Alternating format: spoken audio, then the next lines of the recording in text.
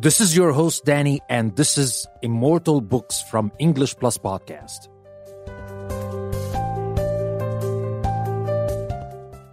In this episode, we're going to talk about the Divine Comedy by Dante Alighieri.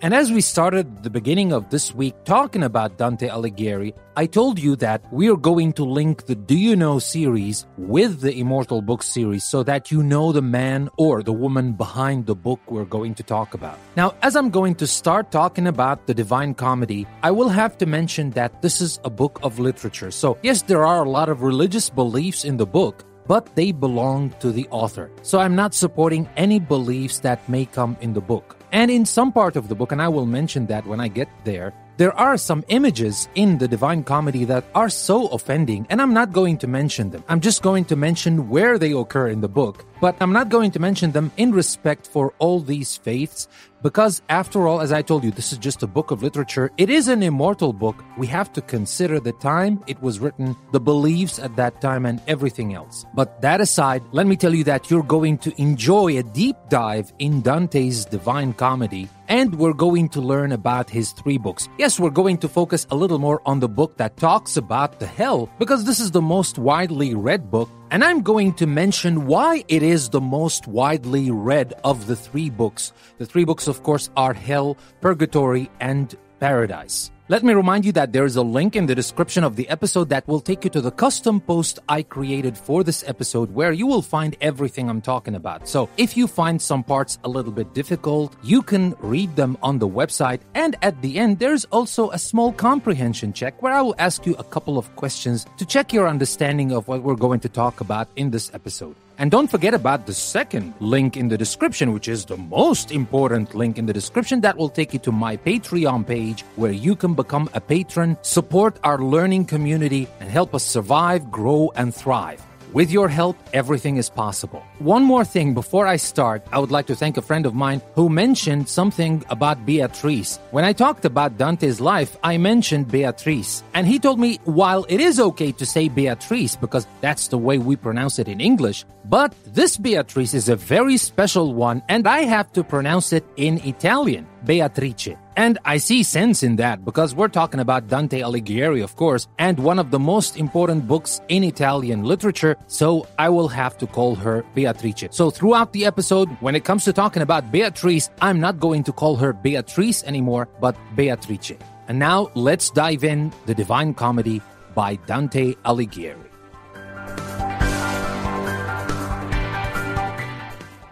In our immortal book for today, we will take a journey through hell into heaven, led by the Italian poet Dante Alighieri in his work The Divine Comedy.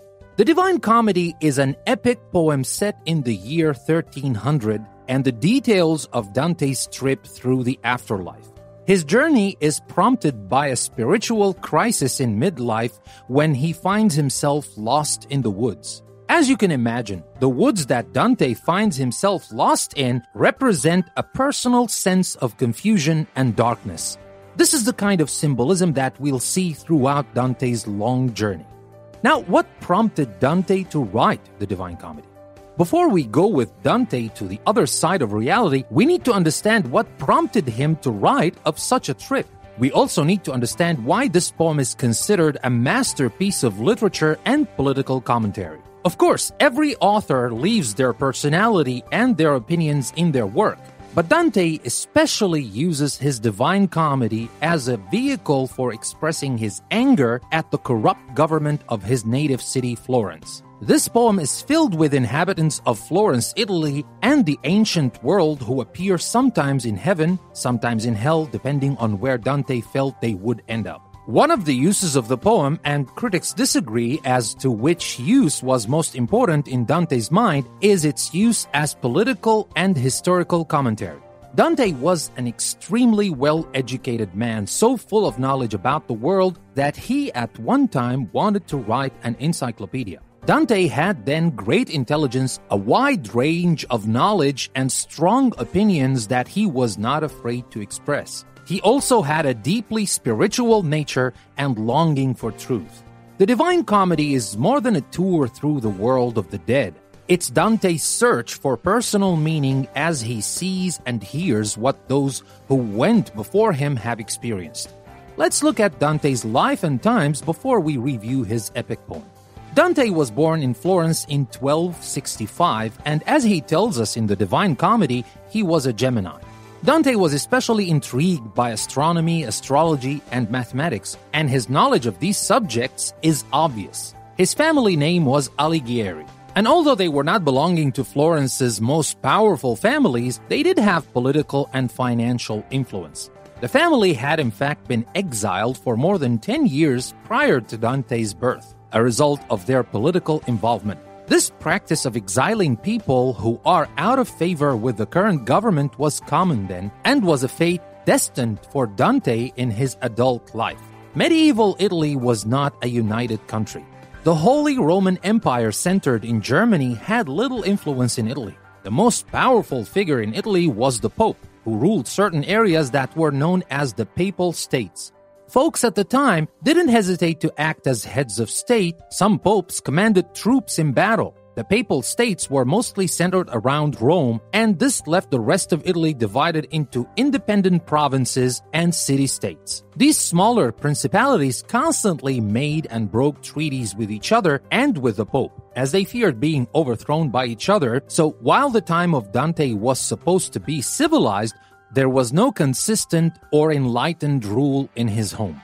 Dante married when he was about 20. It was an arranged marriage, as was the custom, and the couple had at least three children. But those events had little meaning to Dante compared to the day he met Beatrice, his inspiration. They were children when they met. Dante was nine and Beatrice was eight. He loved her immediately and dedicated his life to her at first sight. He didn't see her again for nine years. At their second meeting, Beatrice spoke to him for the first time, calling him by name. They probably had few meetings after that. Dante wrote many poems about Beatrice, her loveliness and grace. To him, she embodied love.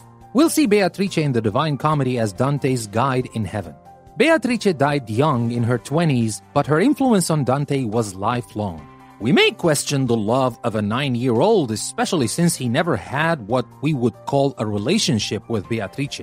However, their relationship and his feeling for Beatrice is in the best tradition of the medieval concept of courtly love. In those times, marriages were arranged and not meant to be alliances of love. Men and women found true love outside of marriage. True love, that is courtly love, is not necessarily a sexual relationship, but more of an idealized feeling like a knight's chivalry for a lady. Beatrice's role as Dante's spiritual inspiration is very real, no matter what we may think of their human relationship. To return to Dante's life, he studied extensively, both in theology and in philosophy. He also served in the army in two important Florentine battles and was politically active. He was very outspoken in criticizing Pope Boniface VIII, who ruled from 1294 to 1303. This pope was later instrumental in Dante's exile from Florence, and the pope appears in the Divine Comedy. Beatrice's last words to Dante are a condemnation of this pope. Dante was part of a powerful ruling faction in Florence, but fortunes changed and the opposing party seized charge of the city. Dante was in Rome when the new party took control and charged him with graft, plotting against the Pope, and conspiring against the peace of Florence. In his absence, Dante was sentenced to death by burning. That began Dante's exile from Florence. He dreamed that one ruler would bring order to Italy and put an end to the constant plotting and his exile. He hoped that the Holy Roman Emperor Henry VII would do this. When Henry died without extending his authority to Italy, Dante lost hope for the country's rule and that he could return to Florence. Dante, like so many Italian citizens, deeply loved his native city where his family had lived for many generations this loyalty to home made his exile even more bitter. The Divine Comedy was written in Dante's exile, a time when he lived in a number of different courts throughout northern Italy.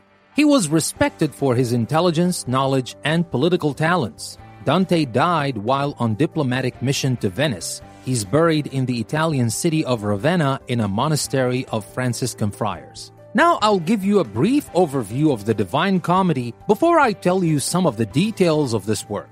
First, the title. The word comedy in this instance doesn't mean something that's amusing.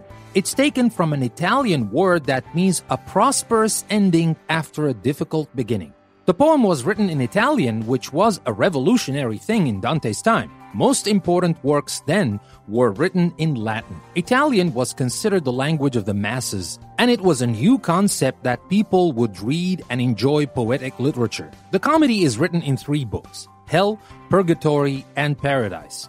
Each book is a place in the world beyond our own, and Dante visits each of these realms. Not only do we see what happens there, but we get to know how the realms are physically constructed. Most editions of the book show artists' renderings of the levels and geography of hell, purgatory, and paradise based on Dante's explicit descriptions. He's divided these places into specific circles, and each one represents the result of an earthly experience for good or bad. But don't worry, we will go into detail about that later. And there's also something else interesting, and that is Dante's use of numbers. There are three books in the Divine Comedy which correspond to three places in the afterlife. There are 33 short poems called cantos in each book.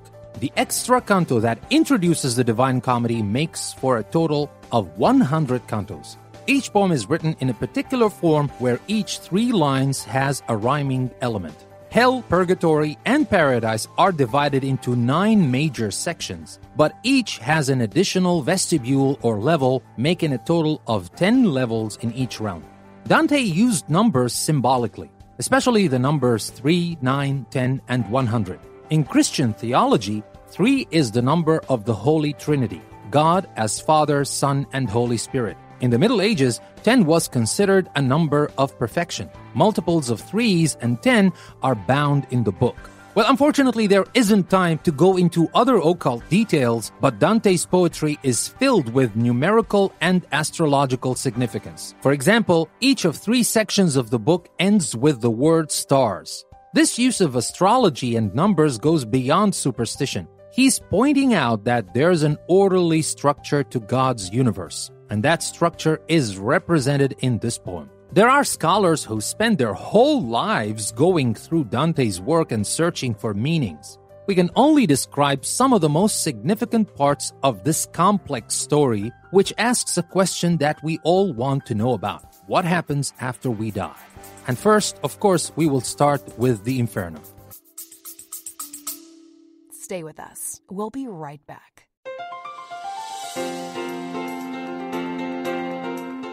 Looking to enhance your English skills while exploring a world of knowledge?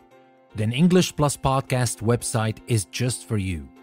Dive into diverse topics ranging from science to literature, history to business, and myths to modern insights.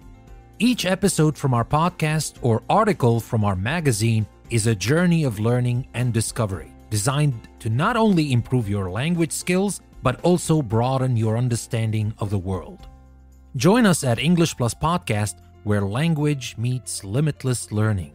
Tune in today and take your English to the next level. Visit EnglishPlusPodcast.com to start your journey. English Plus Podcast, language, learning, enlightenment. Never stop learning with English Plus.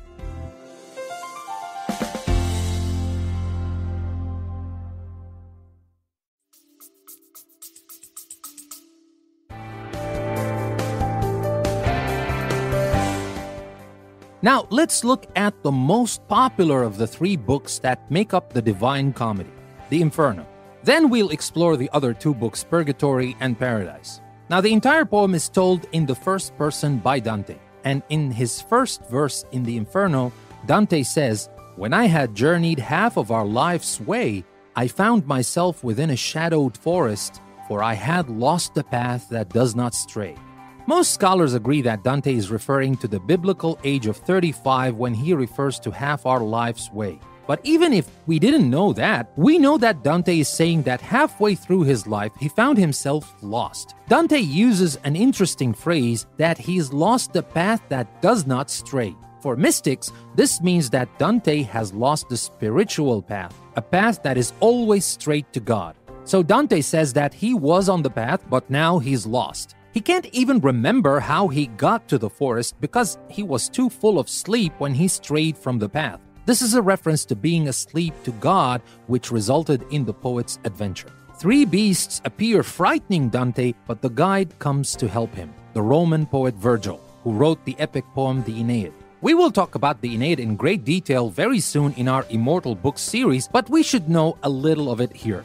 The Aeneid, the story of Italy's founding, predicts that Italy will be the world's first civilized government. But the ideal Roman justice has obviously been lost by Dante's time. So perhaps Dante hoped that his poem could inspire a rebirth of the noble spirit that Virgil predicted. Now, a footnote here Italy and Europe would experience a cultural rebirth in the Renaissance, which started about 100 years after the comedy was written. Also, the hero of the Aeneid, Aeneas, goes through many trials to found Italy in Rome, including a trip to the underworld of the dead, a trip Dante is about to take. Now, to return to the woods, Virgil offers to lead Dante through hell, the Inferno. Dante is afraid he knows that Virgil's hero Aeneas and the Christian St. Paul went to hell during their lifetime. But how can he expect to live through such a trial? He doesn't think himself a hero or a saint. Virgil reassures Dante and says that he, Virgil, was sent by Beatrice, Dante's beloved, to guide him. Here's a description of that Dante's hell. It's shaped like a funnel and descends into earth, getting smaller towards the center. Satan is at the center of the funnel, receiving all the dirt and pain that washes down from the earth. On the way down this funnel, Dante and Virgil go through levels. Each level describes a kind of sin and punishment to match. Some of the levels are divided by rivers, chasms, or walls. At each level, sinners are punished according to the type and degree of their sin. The two proceed to the gates of hell and read the famous inscription Abandon all hope you who enter here. Now Dante begins his trip to the Inferno, a place of devastating horror. He and Virgil first entered the vestibule to hell, a place where people who lived without commitment to either good or evil are punished by eternally chasing a flag that's beyond their grasp. Then the two enter the first nine descending concentric circles, the levels of the Inferno.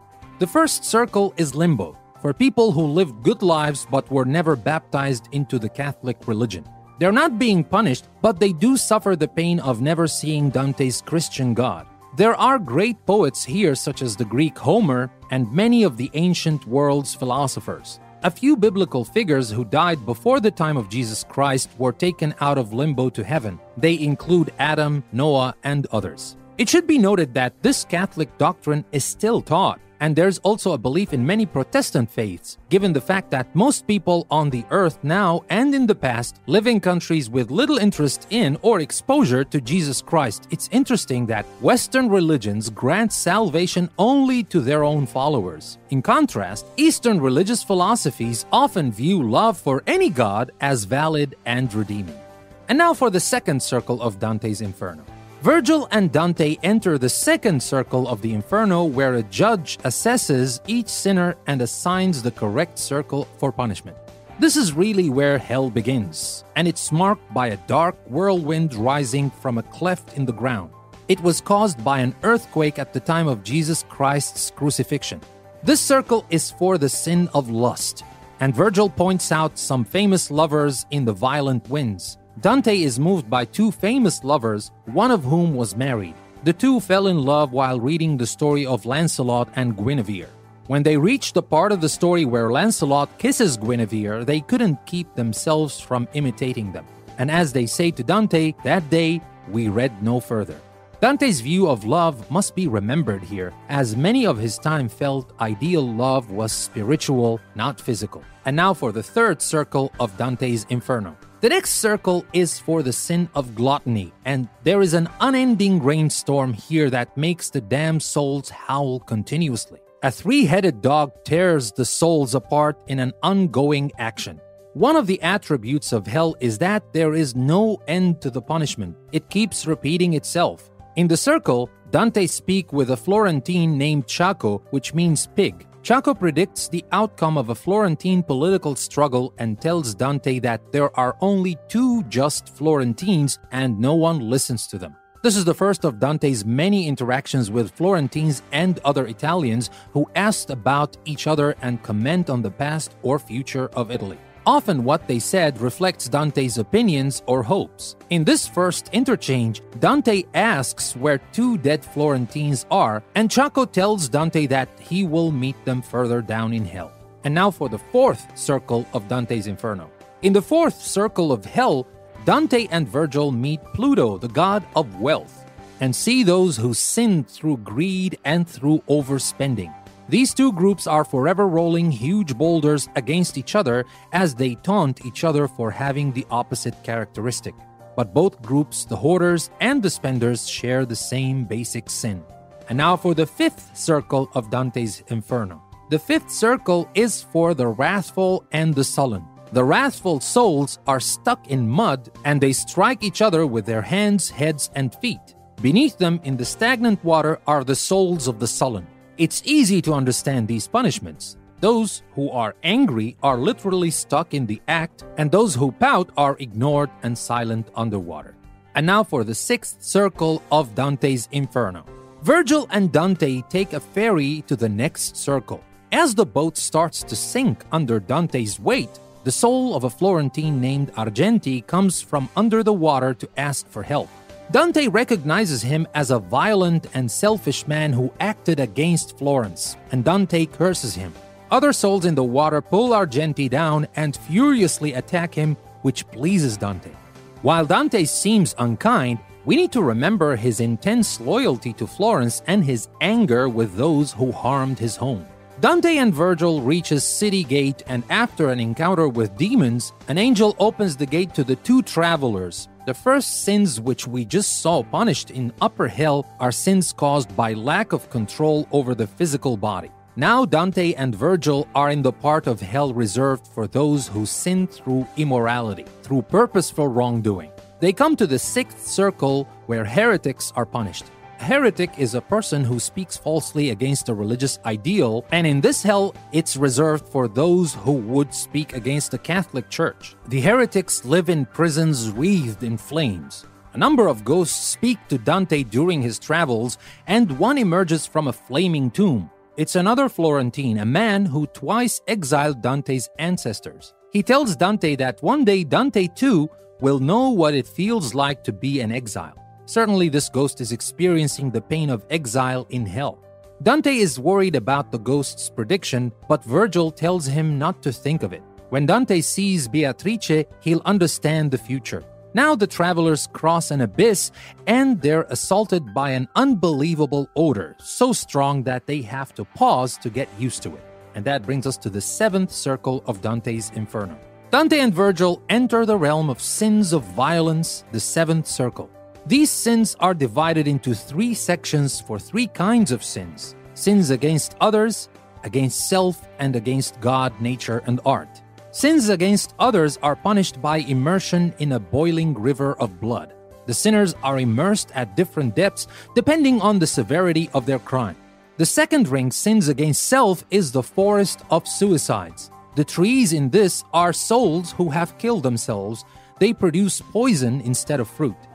Since they have destroyed their bodies, they will never have them back, not even on Judgment Day. In the third section, for those who commit sins against God, nature, and the arts, Virgil and Dante find a desert under a rain of fire. They walk along the edge of the forest of the suicides to avoid the burning sands, and then come upon a stream that crosses the desert. As they walk along its banks, Dante recognizes one of the sinners in the sand, Brunetto Latini an influential Florentine writer and philosopher. Latini tells Dante that he will have an illustrious career but will suffer politically. Dante expresses his gratitude at Latini's works, which were an education for Dante.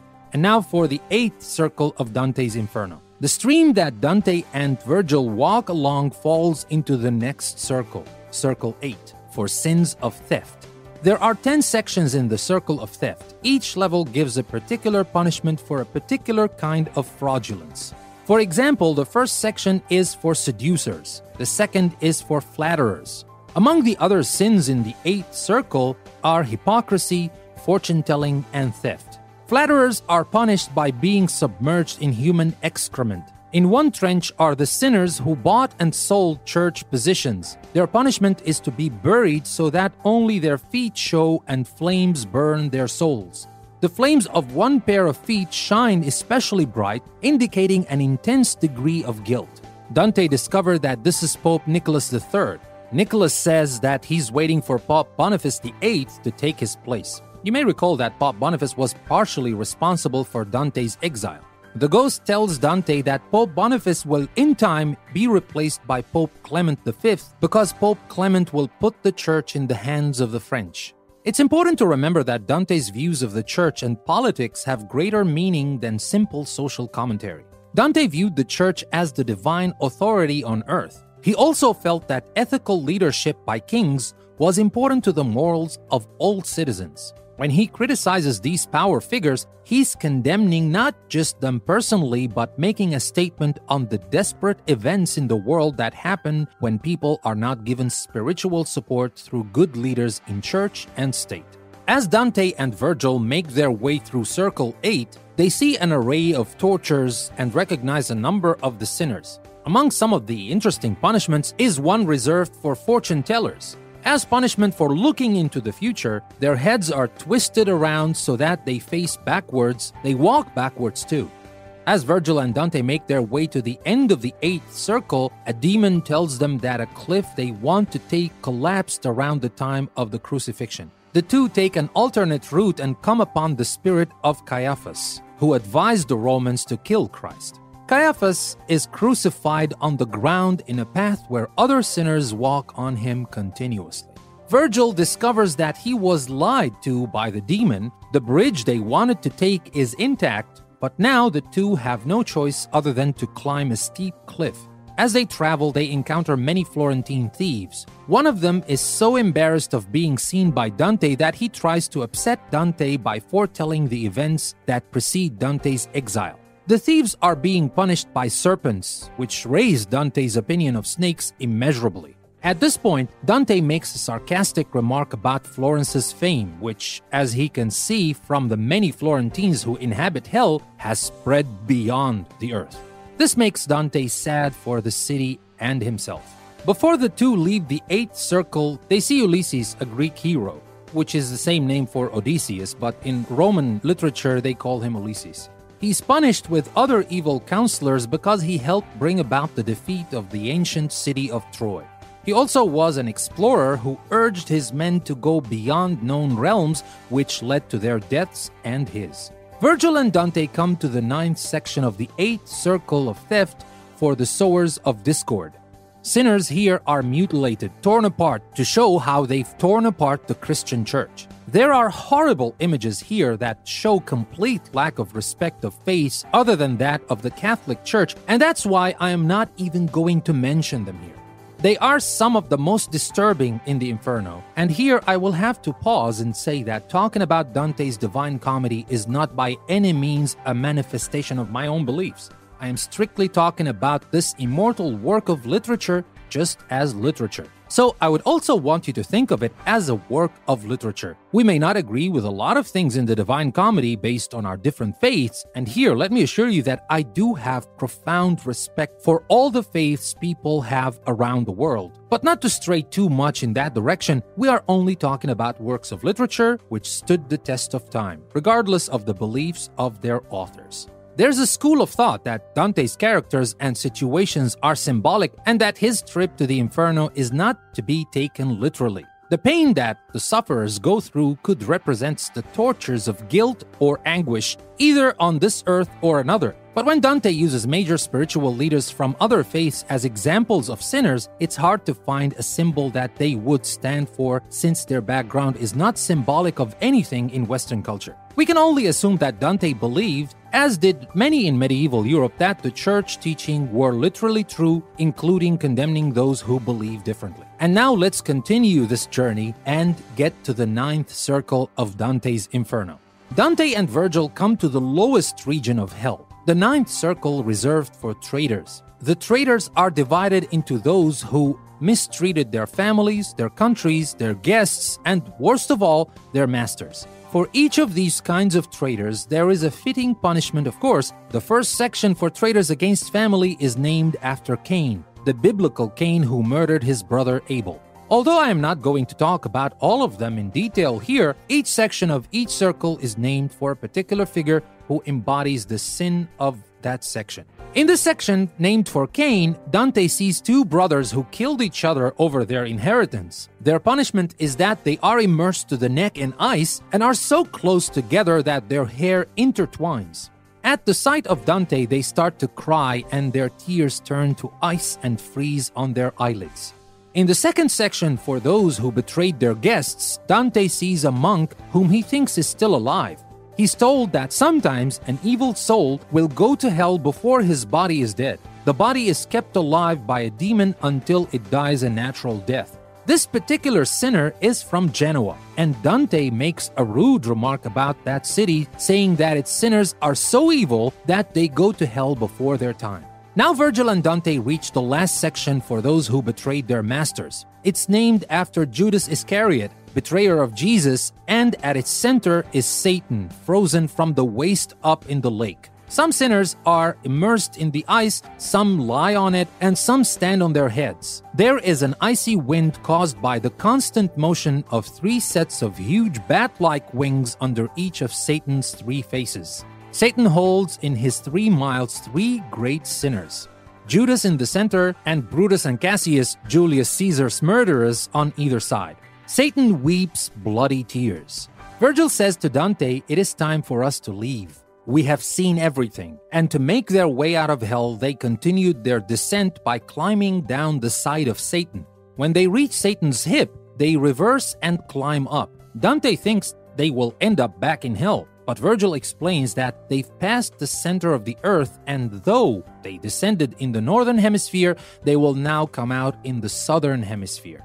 Virgil explains that when Satan, who was called Lucifer when he was an angel, was cast out of heaven, he was thrown into the world, and where he struck the earth is covered with water. The ground he pushed out of the earth became Mount Purgatory, which is where the travelers now go as they leave the inferno and catch their first glimpse of the sky. Dante says, We emerge to see once more the stars. So, as I told you, it always ends with stars in Dante's Divine Comedy. But now, before we talk about the purgatory, there is a big question. Why is the Inferno the most widely read book of the three that make up Dante's Divine Comedy?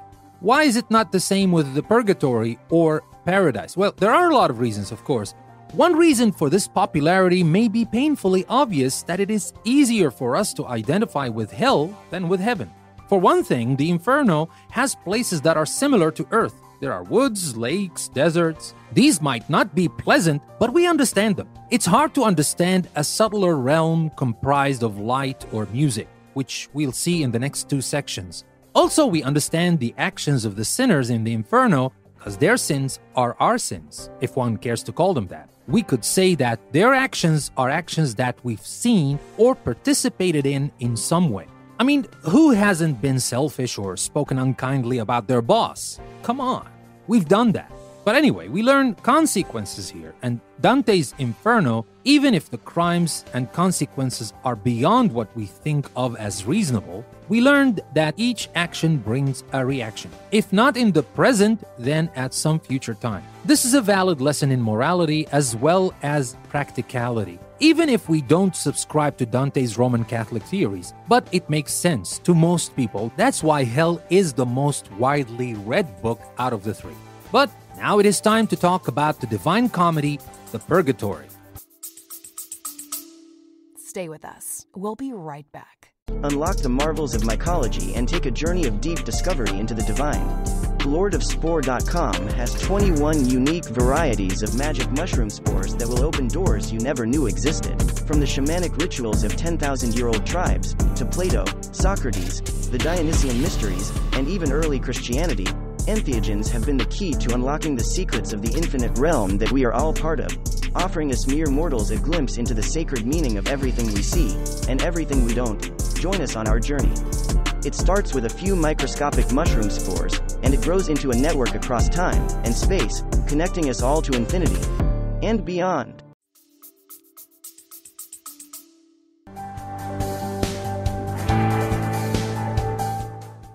Now let's go on now to the realm of purgatory. Dante and Virgil's second stop, and the second book in the Divine Comedy.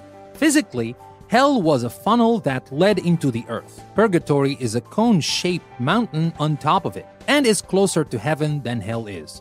Purgatory is on the other side of the earth from Jerusalem, according to Dante, of course. There are two parts to purgatory. The first section of two ledges, like the vestibule to hell, and the second section of seven terraces, one for each of the seven deadly sins, with the less severe sins on the higher levels. Although these make up nine levels to purgatory, the tenth level, the top of the mountain, is the Garden of Eden. Purgatory is the place of hope and its inhabitants both remember their earthly lives and are grateful for this place and the opportunity it provides them to redeem themselves. There is music here and kindness. If hell was like earth at its worst, well, purgatory is like earth at its best. Virgil and Dante reach purgatory before dawn on Easter. Before they can climb the mountain, Dante has to wash off the stain of the inferno. They see a ship approaching, it carries a group of souls, one of whom Dante recognizes as a musician and composer of some of Dante's lyrics. The group of spirits sing, but they're interrupted by Purgatory's guardian who reminds them that they need to start their mission on the island. First, Virgil and Dante pass through the two sub levels of purgatory. These are for people who were thrown out of the Catholic Church or who neglected their religious duties, and for people who were so busy with their daily lives that they ignored the spiritual. These are the negligent souls, and they wait in the valley for their turn to go up the mountain. Virgil and Dante sleep here that evening and wake up the next day to find themselves at the main entrance to purgatory. Just as someone judged those entering into hell and send them to their proper punishment, here in purgatory, an angel meets each person and puts seven P's on their forehead, one for each level or sin. And that brings us to those seven terraces of Dante's purgatory, which represent again the seven deadly sins. Now, the first sin is pride. And so on the first terrace, pilgrims along the way see carvings of famous acts of humility. The pilgrims on this mountain are called penitents because they are making penance for their sins. This is how they will win the right to go to heaven, or as Dante calls it, paradise. Once again, Dante and Virgil encounter souls on the journey. They go to the second terrace for the sin of envy. Dante realizes that climbing becomes easier when a terrace is complete and the P letter on his forehead that corresponds to that terrace is gone. At the second terrace, a lady from the Italian city of Siena speaks to Dante. She regrets her envy, which was greater than her love for her city, and she asks Dante to say good things about her to her neighbors. As Dante and Virgil complete the second terrace, another P has gone from Dante's forehead, Virgil tells Dante that material possessions can cause envy and fear of sharing, but spiritual possessions only increase when they're given away. Now, for the third terrace. The third terrace is for the sin of anger, and the penitents here must walk in an irritating cloud of smoke. Dante sees visions in the smoke, visions of insane anger. He and Virgil go on to the fourth terrace where souls rush towards them with enthusiasm. This is the place where those who committed the sin of laziness must learn to do the opposite. Most of these busy souls don't stop to talk, but a few tell Dante their sad stories. The next three terraces are for sins of excess, greed, gluttony, and lust. We've seen the sins in hell too, but the nature of the sins there was much more harmful than the sins being atoned for by purgatory's penitents. On the fifth terrace, Pope Adrian V is among the sinners who lie face down reciting prayers and psalms. Suddenly, Dante and Virgil feel an earthquake, and all the spirits say aloud, Glory to God in the highest. A spirit explains that the quake is a sign that one of the souls has finished its penance. The spirit is a Roman author and poet, and he's so pleased to meet Virgil that he stays with them for the rest of their journey through purgatory. On the last terrace, there is a river of flames for those who committed the sin of lust. Here, Dante sees some of the earliest singers and songwriters, the Provençal troubadours known for their love songs. Dante is told to walk through the river of flames, but he's afraid to. Then Virgil tells him that his beloved Beatrice is behind the flames, and Dante walks through them. He suffers greatly from this, although his skin is not marred by the fire. The pilgrims go to the top of the mountain, and Virgil tells Dante that his mission is complete. Now Dante will be his own guide. And Dante here arrives at the Garden of Eden. Dante is in the Garden of Eden now and he finds Matilda, a beautiful young woman who leads him along the bank of a clear stream, the river of forgetfulness. They come upon a magnificent procession on the other side of the river. Beatrice arrives in a chariot and greets Dante with a reprimand for his sins. He weeps at the thought of them and then faints with remorse. When he comes to, Matilda leads him across the river of forgetfulness, and Dante forgets his sins and meets Beatrice with a joyful heart.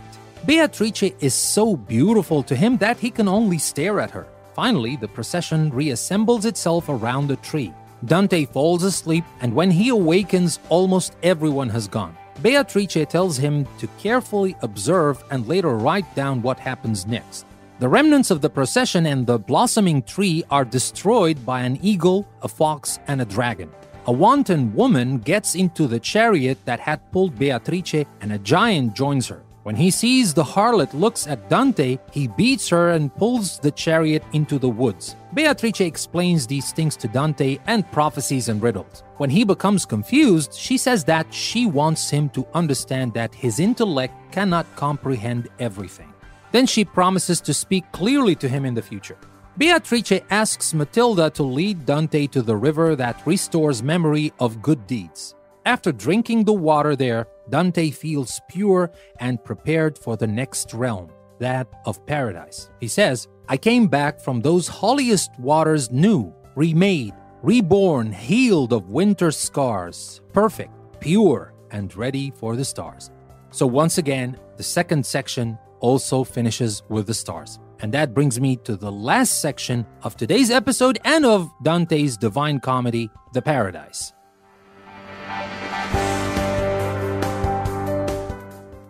The last book of the Divine Comedy, Paradise, has been pulled the hardest to understand. And we can imagine that it is hard to describe where God lives.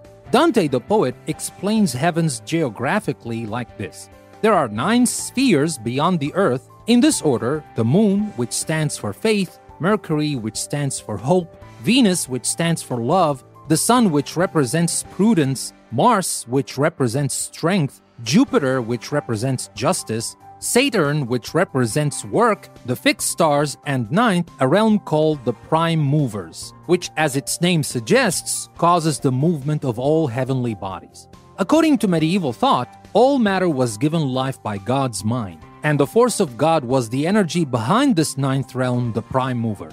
Then beyond the ninth realm was the tenth, called the Empyrean. Empyrean is beyond time and space. It's the infinite realm of God, the angels, and the saved.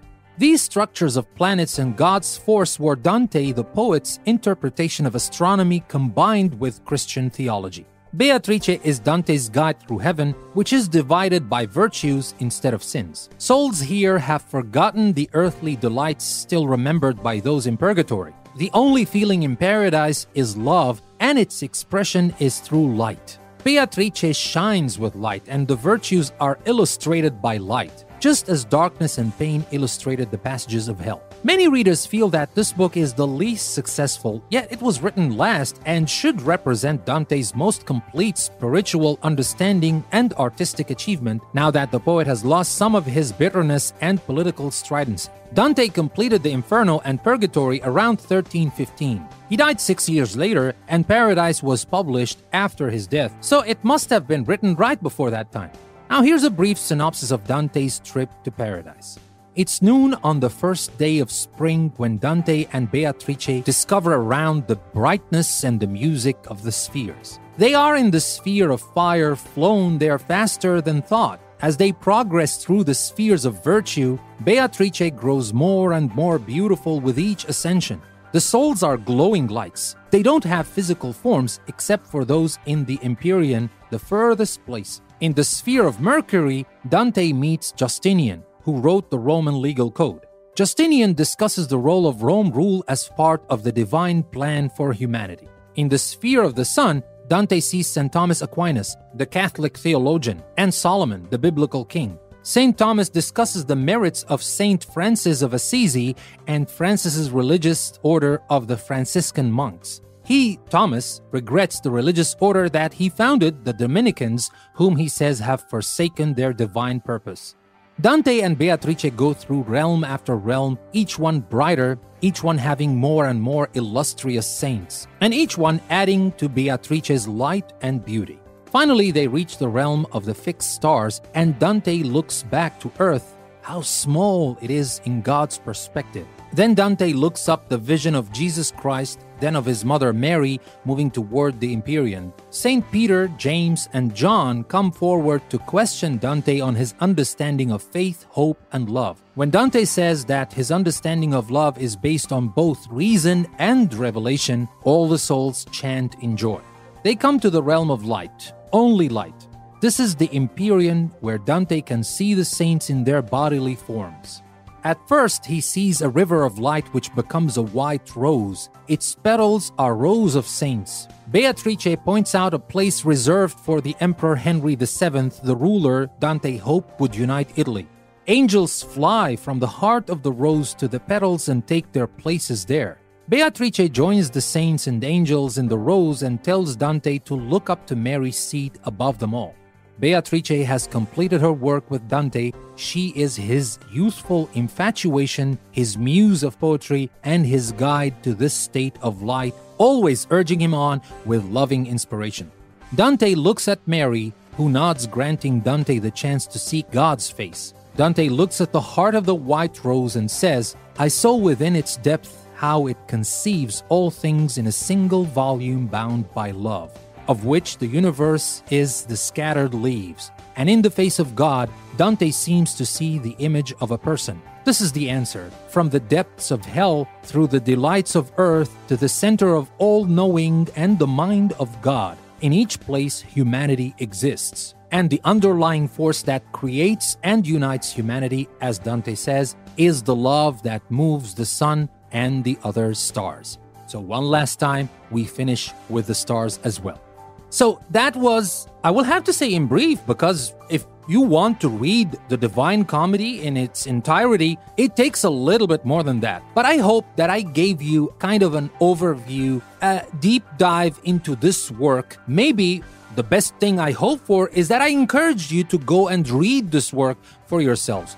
Now, we might have discussions based on this book later, but I will give you some time so that if you would like to read the book on your own first before we discuss the book together, but I will announce that at a later time. Now, with that being said, let me remind you again that you can take the link you can find in the description of this episode, go to my website, and you will find all these things that I talked about. In case you found some of the things I said a little bit difficult and you want to check them out, you can read them there. And of course, there's a very, very small comprehension check at the end of the post. It's just for you to make sure that you understood or you got the big picture. Not gonna be asking about little details and stuff like that. Don't worry about that. And don't forget about becoming a patron and supporting our learning community. I'm counting on your help and support for us to survive, grow, and thrive.